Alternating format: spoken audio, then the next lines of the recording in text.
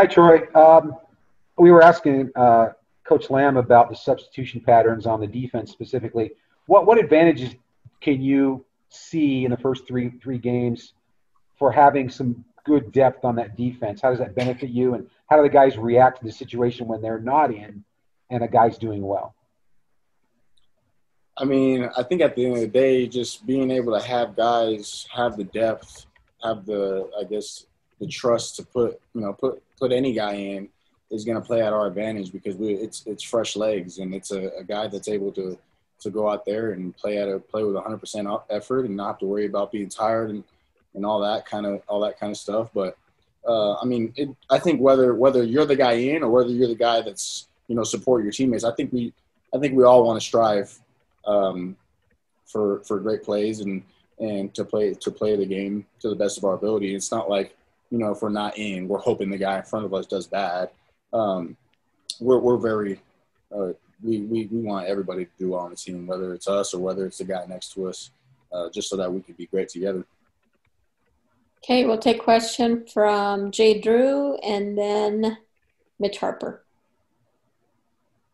Hey, uh, Troy, as far as kind of preparing for UTSA. They've played four different quarterbacks. It looks like their original starter might be back. How is that affecting preparation on you guys' end? Um, you know, we look at we look at all four of those guys as, as great players, and, and they've all played for a reason. Uh, they've they've got talent, and, and we respect each one of their game. Uh, so we we take a good look at each one of those guys, and and uh, whichever one it'll be, we'll we'll be prepared for, and and uh, we look forward to just for the opportunity this week.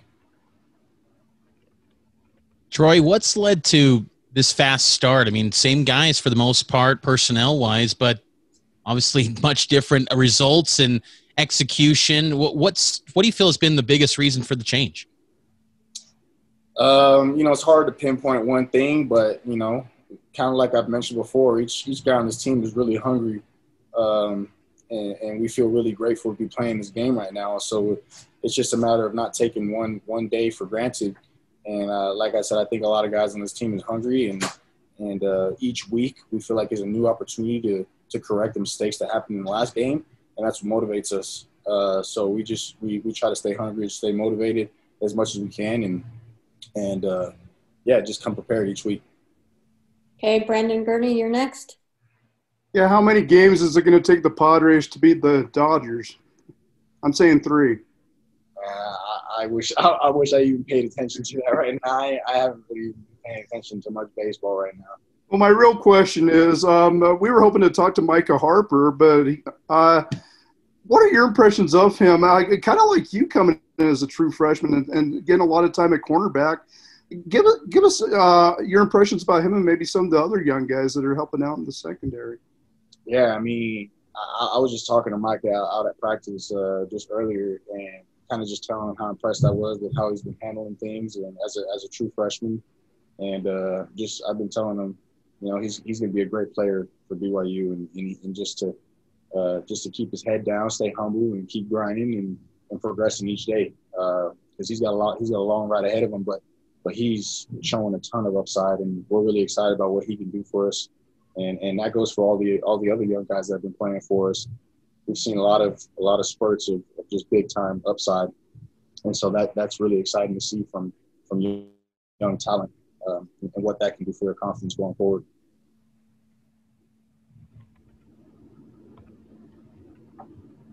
Let's go with uh, Mitch Harper next. Yeah, Troy, what do you um, make of all the the attention that you guys have received as a team, and maybe also specifically Zach Wilson, the accolades and, and attention he's getting? What how has the team responded internally to that? Yeah, I mean, look, like the the, the attention's great, um, and, and we we obviously we love it, but at the end of the day, like we we haven't done really anything yet, and and that's what keeps us grounded. We're we're trying to strive to to, to get better every day. And that and, and that's why I say we're trying to correct, you know, mistakes we had in the last game so that we can prepare ourselves for the next game even more and, and just expound on, on what we're trying to build here.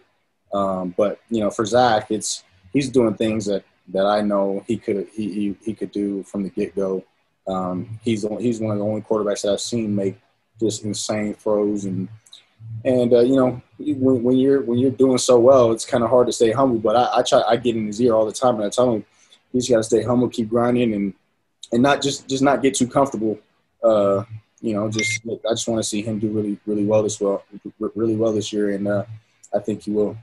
What does the success of the offense do for you guys defensively and how you play? Maybe a little more aggressive. I mean, how how how does the offense's play impact you guys and how you approach to play calling and things like that? Yeah, I mean that's a good question. Um, I think just as just as a defense, when we see when we see the offense doing really well, it just it, it builds like builds up this confidence uh, that just exudes throughout the team, and and uh, we just we can go out there and just play so much more relaxed and and just you know just fly around and, and make big plays, uh, and, and, and that's vice versa for the defense. When we're playing well, I think that that allows the offense to just go out there, play relaxed, just you know, do what they got to do to to help us win games. And, and I think we're doing really well to just kind of bounce off each other and and uh, you know play as a team and, and, do things the right way. And that, that actually goes for special teams as well. I think we're clicking on all cylinders right now. It's just a matter of being consistent, and keeping it going. Okay, we'll take a question from Tyler Gibb, and then Jay Drew will be our last question. Yeah, Troy, we saw uh, Fred respond to a tweet of your interception that said, I'm the brother of BYU defensive back Troy Warner. What is kind of like that communication between you and Fred throughout the season and how you're able to help each other with your games? Yeah, I mean, we, we talk literally every day. We're on FaceTime, and, and you know, he's giving me little little tips of what I can do better week to week. And, uh, you know, it's, it's just uh, it's it's a unique situation for me to have you know a guy who's excelling at such a high level in the NFL. Um, you know, I don't take it for granted. I'm in his ear all the time, trying to figure out what I can do to be great. And uh, you know, it's just it's uh it's it's fun. It's uh, one of those situations that I feel like is very unique and doesn't come along very often for most people. And so I kind of just like to take advantage of it. And and the fact that we were so close is is uh I'm very grateful for it. So. Hey, Troy, as a San Diego guy, what kind of popped into your mind when you saw the Cougars were hosting the Aztecs on December 12th? uh, I mean, the first thing that popped in my mind was how cold it's probably going to be. Uh, that's definitely going to be a freezing game. So uh, it'll be interesting to see how they uh, how they do with such a cold game coming out here in Utah. But uh, but yeah, I'm, i mean, I'm excited getting to play my, my one of my hometown teams.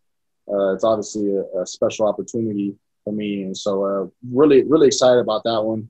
Uh, but obviously, taking it one game at a time.